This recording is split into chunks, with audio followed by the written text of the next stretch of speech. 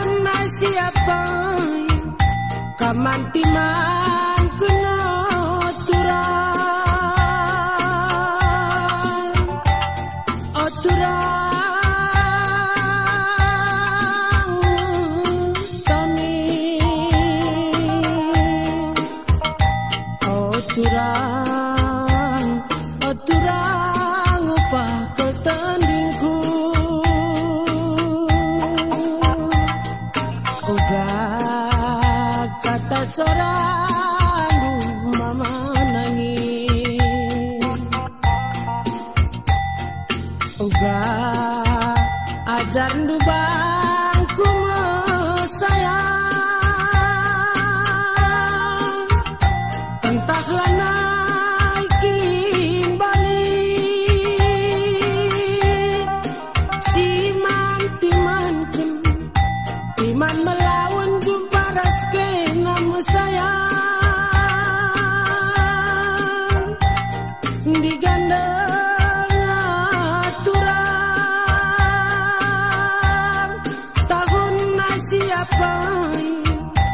mantima